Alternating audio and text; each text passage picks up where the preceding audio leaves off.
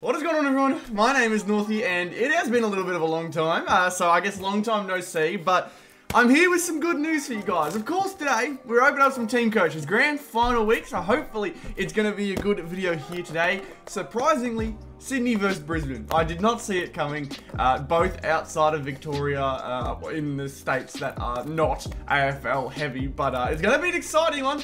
Brisbane, the fact they've managed to make it is a massive surprise in Sydney, even after the small struggles have managed to fulfill their number one spot, I guess, expectations. So that's going to be an exciting game. But of course, we've got some packs of team coaching. You'll notice that I've got a box because I am finally revealing that tomorrow we are going to be having Northy's Month of Team Coach giveaway live stream. I've got another box with me to the left that I'm going to be opening up on stream and then revealing to you guys who the winners of Northy's Month of Team Coach are. Man, it's been a while since I've mentioned that, uh, but it should have happened a while ago and we are finally here to do so. So Thank you guys so much for staying patient and staying tuned in. I've got both the giveaways that are going to be announced and uploaded. The channel, of course, but Instagrams as well. That'll be up there as well for you guys to figure out who wins over there. So Thank you guys so much for sticking around and showing your support. Uh, let's see though, we've got ourselves 12 packs today, hopefully some good stuff, so be sure to leave a like on the video,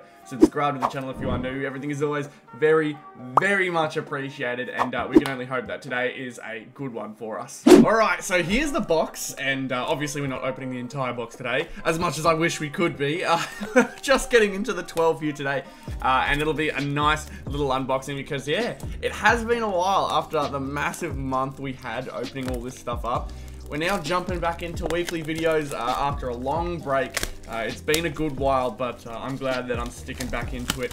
Uh, it's just been a mix of, you know, making sure that I'm on top of my uh, other responsibilities in life, as well as the fact that oh, I can get a break every now and then. I feel like it's allowed. Let's see, though, what are we going to get in this one here today? We've got ourselves the usual setup for a box, but uh, let's see. Hopefully something nice here today. One, two, three, four, five, six, seven, eight, 9, 10, 11, 12. Man, this is going to be a lot. this is going to be a lot more than I think I expected. But uh, nonetheless, I don't think anyone's complaining. Getting your hands on Team Coach is always an exciting thing, especially because it's almost impossible, if not impossible to find it now. It's been very, very tough. But uh, yeah, this week is going back to the usual stuff. I plan to have my own type of video uploaded later on in the week, uh, like a different type of uh, video compared to the usual pack openings you get. Uh, footy stars this weekend as well. Also planning to open up a AFLW team coach box. Uh, that one is one I wanted to get to a bit earlier, but haven't been able to until just now. So let's see, what have we got in today's 12 bear boys? It would be nice to see something big. Uh, with 12, you'd expect at least a box hit. So we'll, we'll see, we'll see. I'm not going to go, you know, begging for anything. We'll find out, though. What are we starting off with today? We got Brody Grundy here in the first one. Then we got Clary, Clayton Oliver, and we've got ourselves it is a defensive dynamo. Callum Wilkie, Silver Star Powers to start ourselves off. With a Zach Butters, uh, we got his skill in there with a Maxi King, Harris Andrews, Jake Lever, Brad Crouch, and Tom De Koning. But a few things I want to point out. Port Adelaide, stay disappointing me. I mean, I'm not mad at it. Port is just one of those teams that gets on my nerves, but man, they are they are useless, it feels like. Sometimes they cannot fulfill their needs and fulfill the expectations they put upon themselves. Win that many games in the in the AFL season, finish second, and then get beaten on their home turf by Geelong, and then get what? Uh, Who they beat? They beat Hawthorn by three, and then get pumped by Sydney. Man, it just makes sense. We got Jamarra Ugle-Hagan in there, Ben Hobbs, and we are seeing a Will Day Silver best and fairest in this one as well. No real need for these best and fairest anymore. These are basically useless to me now. Uh, we also have Andy Brayshaw in there as well, the Andy Brayshaw Scanlan. It's been a while since I've opened up packs, man. I'm all over the place.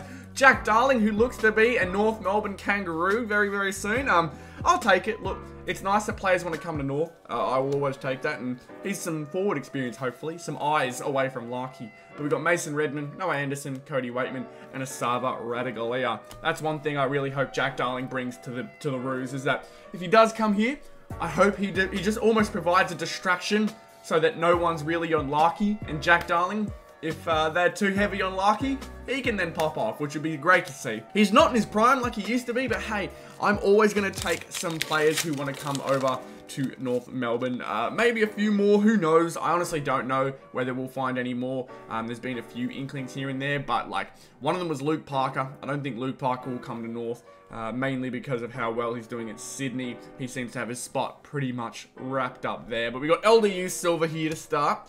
Andy McGrath. And we are seeing a Melbourne card craft. We've got the number one Kozzy Pickett, not too bad, with a Tim Taranto Scanlens, Jamie Elliott, Tom Green, Angus Brayshaw, Scott Pendlebury, and Matt Crouch. But uh, I guess on the other hand, I think I talked a little about Sydney, but I want to talk about Brisbane as well because Brisbane, they are so, so unexpectedly insane this year. Like, they have had an incredible final series. Honestly, they're my tip to win it. I think in the Sydney Brisbane Grand Final, I think Brisbane is going to tip it. One, they've just come off a Grand Final. Sure, Sydney is only one year ago as well, but it's the battle of the previous two losers, and I think that's a really, really interesting matchup. One team is going to lose two in either back-to-back -back years or two in three years, and uh, the other one is going to break the hoodoo uh, because, you know, both of these guys lost their recent grand finals, so one of them gets revenge. It's going to be really, really exciting. But we've got Nick Newman Silver, Mitch Lewis Silver, and we're seeing it is a mighty Andy Brayshaw star powers. Nothing crazy there. Paddy Dangerfield Scanlon there too. Isaac Heeney, who's having an incredible final series. Bailey Dale, Ivan Soldo, Elliot Yeo, and Tom Lynch in there.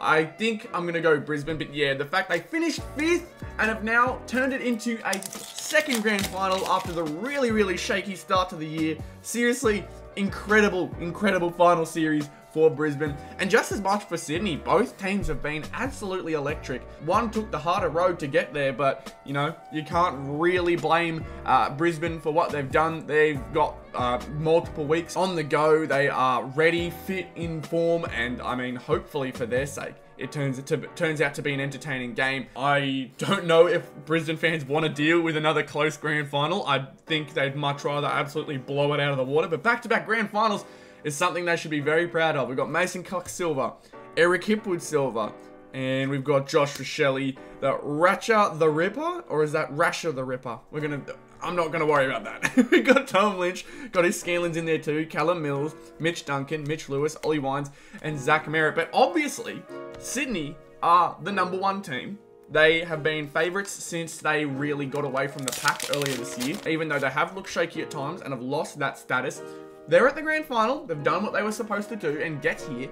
Now it's about turning a minor premiership into an actual premiership. And uh, I think they're favourites. I think most people are expecting them to do it. But I'm not too sure about that. It really could go either way. I think it's Sydney's best. They are good all over the ground. But that's of course the same for Brisbane. It's just both teams have had their low points. Brisbane to start the year, not great, and then Sydney towards the end of the year, not as great. So we'll see how this one turns out. We got Bailey Smith, silver though.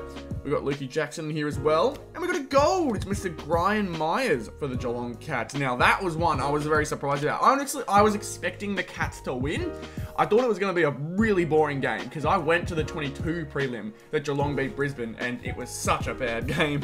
We got Josh Dunkley Scanlens in there too, Nasiah Wanganeen Milera, Eric, Eric Hipwood, Nick Larkey, Michael Frederick, and Jack Ginnivan. But I went to that game and it wasn't as good as uh, I kind of hoped. So I thought this one would be similar, but Brisbane, they're just they're just on something this year, man. I mean, that would absolutely break a lot of the nerves that I think they may have had knowing that they lost to Geelong by that much two years ago in the same place at the same time in the same game, that would have been on their minds, and they beat them. They did what they needed to do. Like, that is such a like they both have great stories, both Sydney and Brisbane. I really wouldn't be mad at either team winning. I really wouldn't. We've got Tristan Xerri Silver, Liam Baker Silver, and we've also got the Jason Horne-Francis Next Gen Silver. The only one I would have been mad at is if Port had made it. And I tipped Port. I thought Port were going to make it all the way this year. Of course, uh, the minute you put faith in that team, they let you down. But we got Cam Zurhaar Scanlens, Adam Treloar, Toby Nankervis, Charlie Ballard, Aaron, Aaron Naughton, and Karl Amon.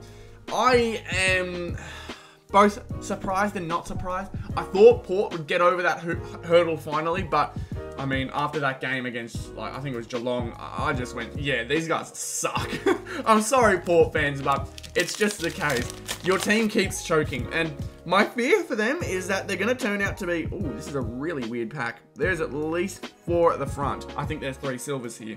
I think there's three silvers. We'll find out in a sec, but they're doing what North used to do, where they'd get so fast, so often, but couldn't get that hurdle to the grand final. And that's their hurdle right now. Port's hurdle is the grand final. They can't even make it there. That's really worrying for them. We've got Cam Guthrie, silver. They may even be losing Dan Houston.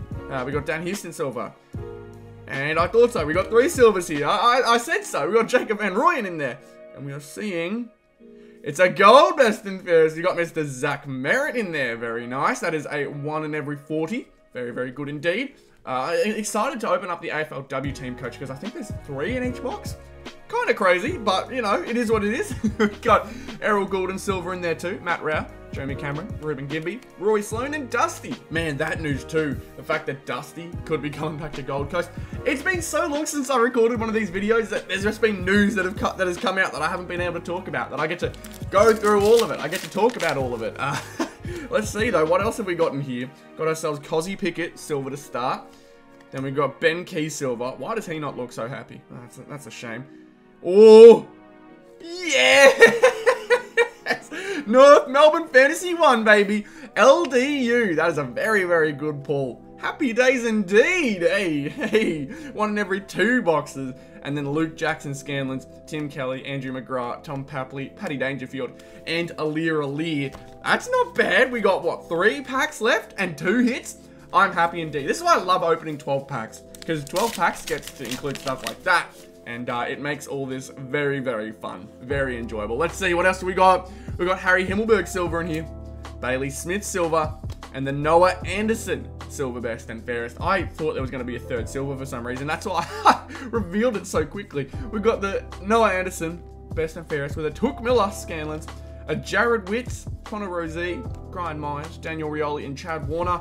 I think my tip is going to be Brisbane by a goal.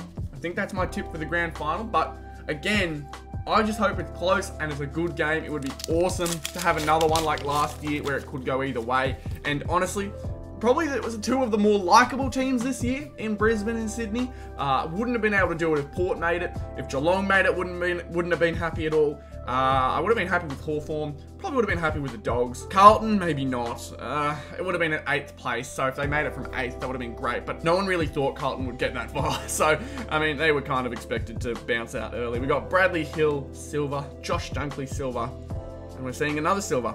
It's the Harry Sheezel Silver Mighty. Speaking of, LDU won the best and fairest for North Melbourne, which was interesting. Thought it would have been Sheezel or Xerri, but Davies Uniacke wins it. Hopefully that means uh, it convinces him to stay a bit longer. Would be nice to see that. Uh, maybe an extension, hopefully. We got Nick Daicos, Scanlens, Todd Marshall, Jeremy McGovern, Dion Prestia, Tim English, and Will Day comment in there as well as we jump to the last pack of the video. It's been good to chat. It's been good to talk everything AFL related. It's always good fun. But let's see, can we finish off on a high note? We got Liam Duggan Silver, Tom Lynch Silver, and our final insert is going to be, it's a gold. It's Charlie Curnow, the two-time Coleman medalist, not the previous year's Coleman medalist, uh, but that is okay, a good player nonetheless. And we've got Tim Kelly Scanlon in there too, with a Sam Collins, Cam Guthrie, James Worpel, Liam Ryan, and Jake Stringer to finish off today's episode. And that's where I'm going to finish off the video here for today. So, two very, very nice cards indeed. Nothing too out of the world, but uh,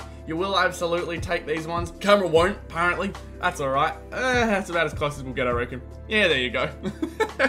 but nonetheless, it's been good to open up some more packs. Really in the mood to keep it up regularly now. Uh, yeah, we've got everything ready to do so. I've got my Footy Stars packs here. I've got my um, next box for the stream. I've got the AFLW Team Coach box next to me. Uh, can I show any information here? Yeah, I can. There you go. That's the Team Coach box. So nonetheless, uh, I'm keen to get back into it this week. Hopefully you guys uh, stay tuned in and stay watching. And I will hopefully see you all very, very soon for another one. Goodbye.